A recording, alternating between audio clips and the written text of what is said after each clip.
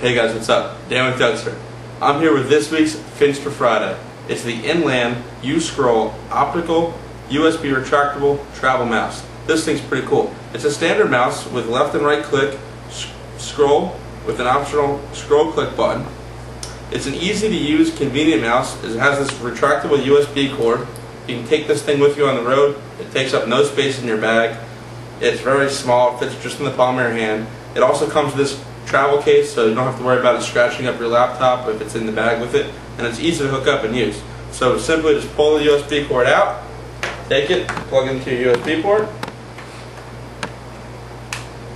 Up on the screen we have some solitaire running. That's what we do with most of the time here at Yugster. Simply, uh, you know, track over, pick up that 9, bring it down, toss over the 10. Just like that. When you're done using it,